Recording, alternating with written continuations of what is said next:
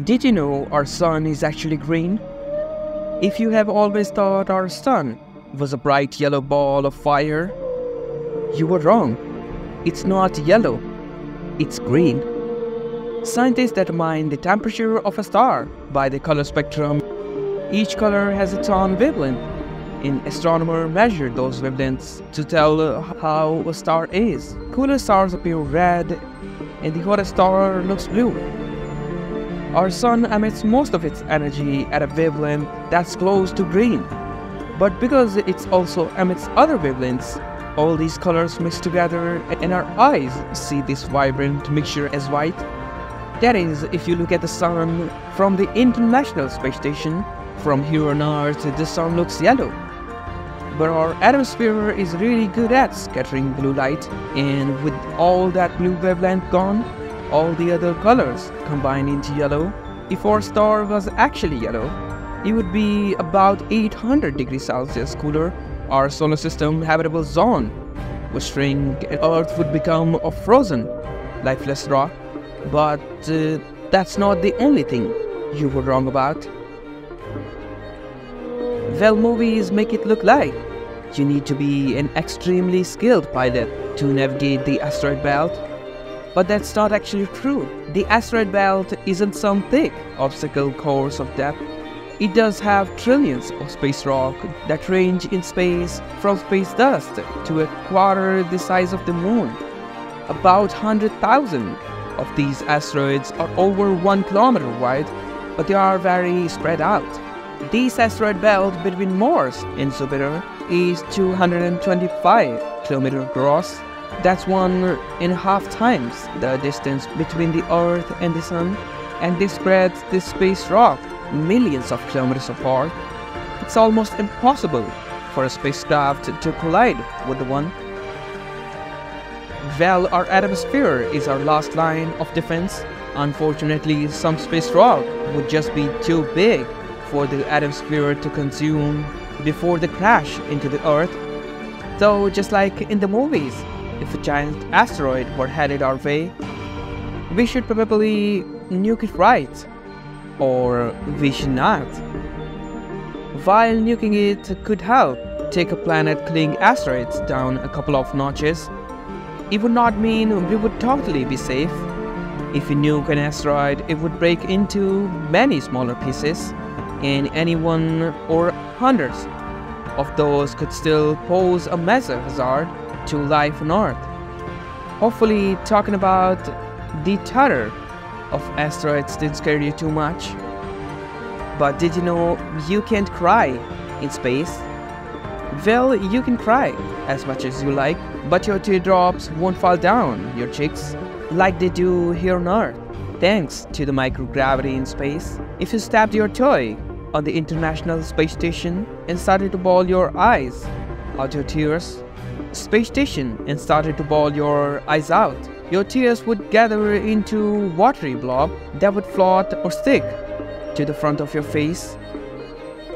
The sun is hot, but it's not on fire, burning a chemical reaction of oxygen fuel like most stars out there. Our sun is a ball of gas, mostly made up of hydrogen and helium.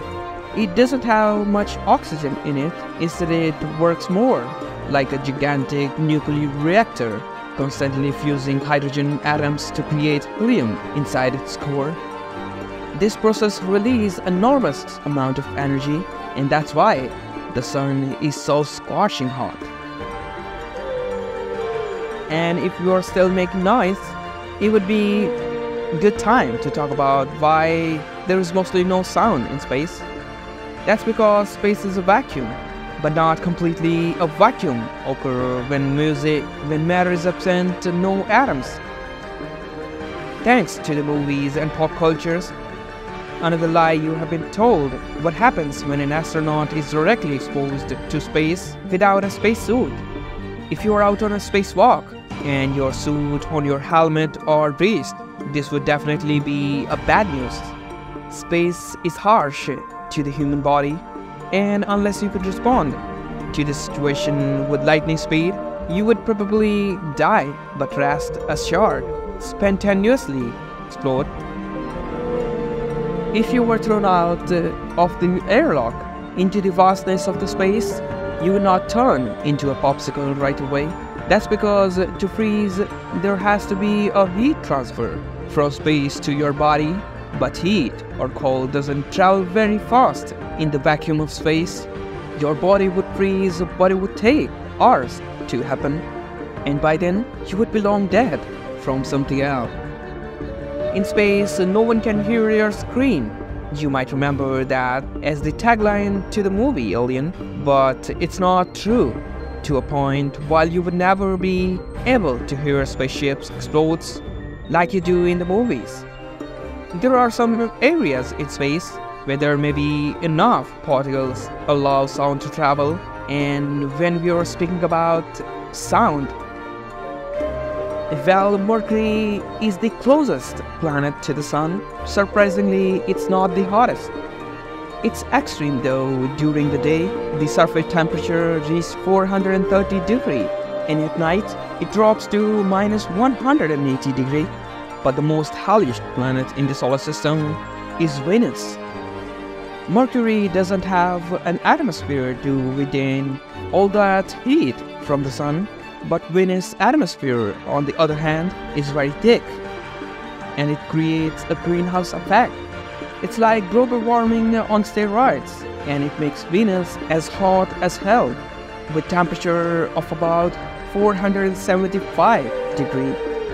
While you're floating around out here, we might well tackle another misconception. We should talk about another misconception.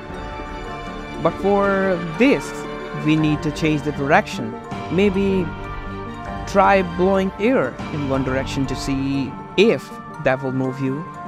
It's not because you have got a helmet on your head. Even if you could exhale forcefully, it would be strong enough to watch you. And that's why staying attached to the handrails or having thrusters on your suit is important to keep you close to where you want to be. Space seems incredibly cold, but actually, it's not. In reality, space doesn't have a temperature at all. Temperature is defined by the speed at which particle moves and move and the amount of energy they have in true vacuum of space. There are no particles to move around.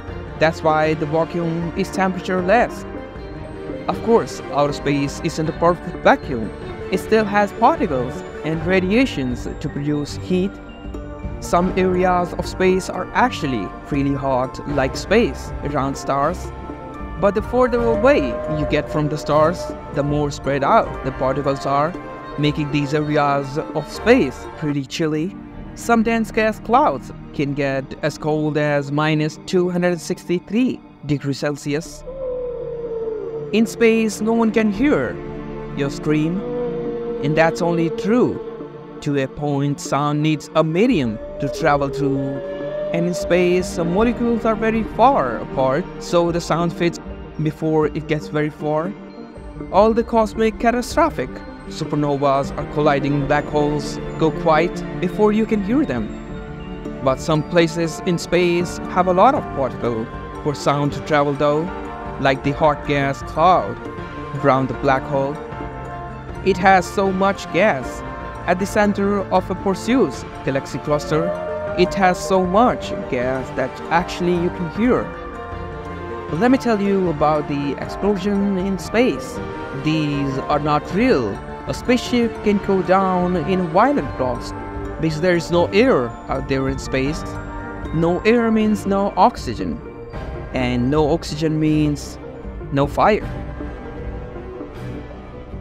Meteorite may look like they are on fire as they blaze their way through our atmosphere. But again, that's not exactly the case. If you're lucky enough to catch a glimpse of a shooting star, what you are really seeing is the glow from the intense air pressure in front of the meteorite. As it speeds through our atmosphere, the rapid compression of air in front of the meteor heats things up until it's glowing bright, and as a result of all that heat, meteorites tend up to burn up in our atmosphere, even though they are not technically on fire. It seems that there are too many stars in the night sky for you to count, but actually you can. All those scientists at Harvard have already done it for you. According to the Yale Bright Star catalog, there are 9,110 stars that you can see from Earth with the naked eye. Try to count them all for yourself. We were always told that there is no gravity in space, and if there is no gravity, well, there must be no weight. Otherwise, how could astronauts just float around this International Space Station? Well, the term zero gravity is misleading. There will always be some amount of force acting on an object. In the case of astronauts on the International Space Station, they are not actually weightless. They are in a constant state of free fall thanks to their orbits around the Earth. They are always falling, but never landing.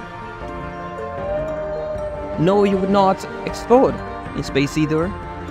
You would inflate, though that's because nitrogen in your bloodstream would gather into bubbles and puff you up to double your size. But that's not what's going to kill you. It's the lack of oxygen. After 15 seconds in space, your brain wouldn't get enough oxygen through your blood and you would lose consciousness. After 2 minutes in your space, your other organs would start shut down one by one you may have heard that the planet all have their own song. This one has roots going back thousands of years when ancient astronomers theorized about the music of the spheres. They thought that the movements of the planets might produce a form of music in itself. Well, that didn't exactly prove true, but the magnetic field of the planets do interact with charged particles and radio emissions that results from the interaction can be turned into sound waves.